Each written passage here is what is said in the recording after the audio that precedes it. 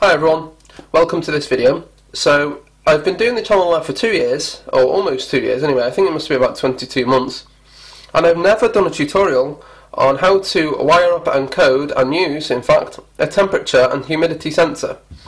And that's a bit strange because when people start messing with Arduino, usually this is the first project, or one of the first projects that they do, and the reason for that is because it's very simple.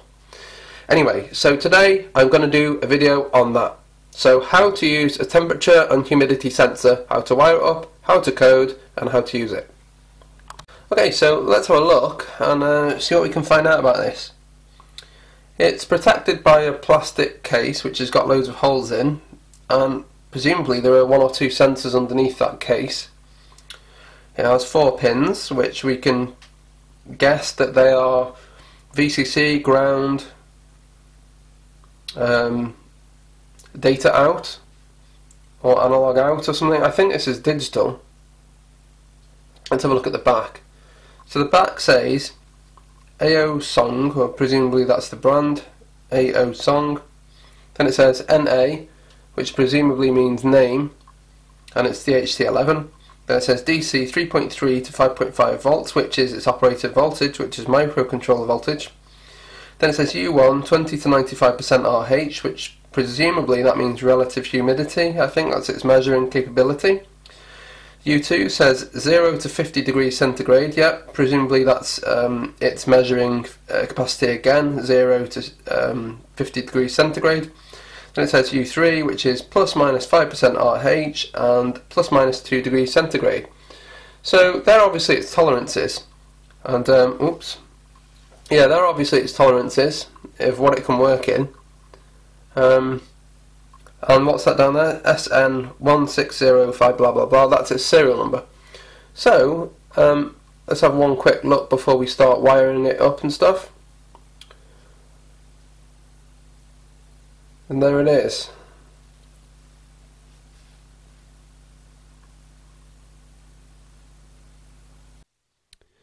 Right, I've got the datasheet for this thing, and let's have a quick look. DHT11 temperature and humidity sensor features a temperature and humidity sensor complex with a calibrated digital signal output. Okay. Introduction. By using the exclusive digital signal acquisition technique and temperature and humidity sensing technology, it ensures high reliability and excellent long-term stability. This sensor includes a resistive type, resistive type, okay cool, humidity measurement component, and an NTC temperature measurement component, and it connects to a high performance 8 bit microcontroller.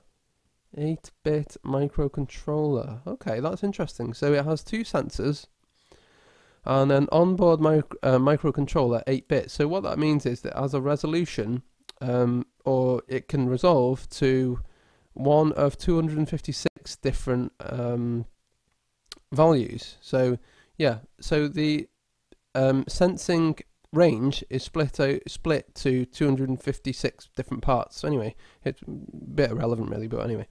Uh, offering excellent quality, fast response, anti-interference ability, and cost effectiveness. Cool. There's a picture of it. Not too bad about that. Yeah, four four rows, whatever. Um, so here's some um, characteristics Hmm. Accuracy. Resolution. It's all very interesting. Ah, right. Okay. Here's a here's a wiring diagram. They say to use a 5k resistor. Um, data. Okay, cool. So we use a 5k resistor. We pulley pull it up basically to 5 volts or 3.3, whatever we're using. Um, when connecting cable shorter than 20 meters, use 5k. Yep. When it's longer than 20 meters, use an appropriate pull-up as needed. Okay. Um, blah, blah, blah, blah, blah, blah, blah. A capacitor valued 100 nanofarads can be added between there for power filtering. I don't think I need to do power filtering. Serial interface. Um, okay, well, I'll have a library to do this, so I'm, I'm not really worried about that. Uh, what else have we got? Nothing else really, nothing that important. Oh, what was that? Light effect. No, it doesn't matter about that. Right, so that's that's all we need to know at the moment. Now it's time to wire up. So I'll just get a board. Let's use this one.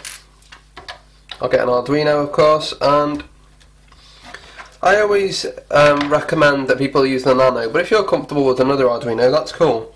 But for if you're a beginner, I'd say use a Nano because it's easier. I won't go into the reasons why at the moment, but yeah. Now I'm going to push the um, the sensor in there, so the four pins just uh, sit nicely in the holes. Now, the first pin, uh, which is well obviously pin one, goes to um, 5 volts on the Arduino. Then the next pin, which I'm going to use green, goes to, let's say, digital pin 2. Digital pin 2 because it's a digital device. Then pin 3 is actually dead, it doesn't do anything. And pin 4 you put to ground. So very simple, VCC, sensor out, ground. Well, actually VCC, sensor out, nothing and then ground. Now there's another thing we need to do. According to the datasheet, we need a 5k resistor, and this is a pull-up resistor. And again, I won't go into the details of that, but basically, um, things don't work properly if you don't use the resistor. Um, I've heard that the, the newer ones actually have a pull-up resistor built into them, but this one doesn't.